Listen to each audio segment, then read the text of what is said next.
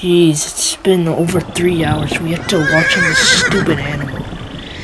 It's been taking forever, and the Giganotosaurus isn't even here yet. I know, it's so boring just to watch some farm animal than rather than some gigantic 50 foot monster. I know, so boring, so dumb. We should just head back. This really is boring. Huh? What the Yeah, yeah, it can't be. It can't be. It can't be. It can't be.